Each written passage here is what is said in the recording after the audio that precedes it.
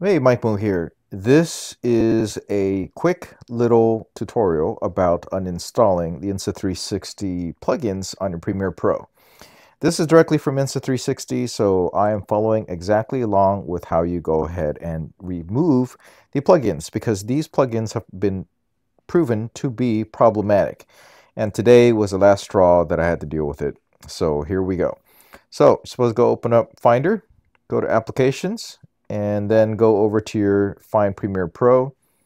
And if you have it, you can sort it by alphabetical here, just to make it a little bit easier to find. And it's under Adobe. So from here, we're going to do right click and choose uh, show contents.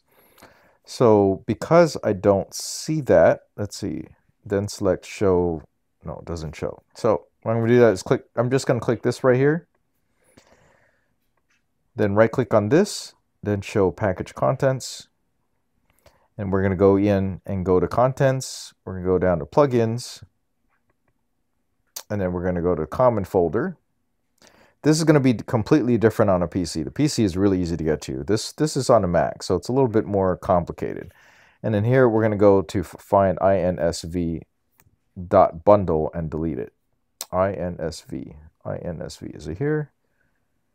Looks like I had already removed it, but this is where you're going to find it. I'm going to I'm going to sort this by alphabetical so that we can make sure that we have removed it. INSV.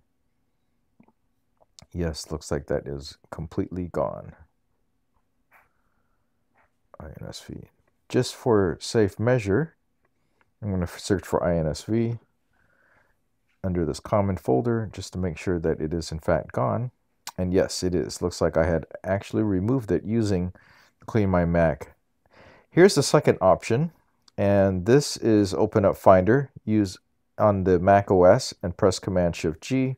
That's what we're going to do. We're going to do Command Shift and G on a keyboard, and then we're going to go to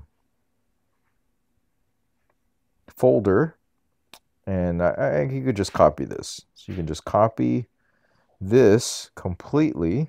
Okay, copy that. Go back to the Finder paste that in here, go in right here. Okay, so this is where you want to get rid of.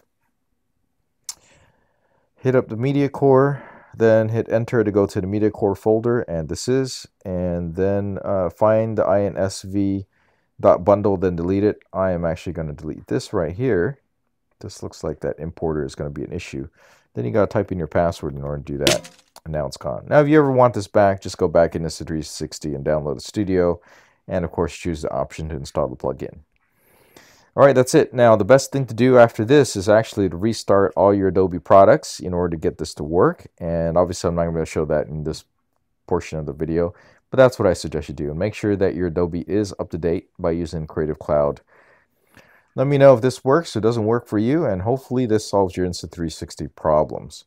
This causes an issue sometimes at a low level uh, Insta360 issue that then causes your Adobe to crash, Adobe Premiere to crash.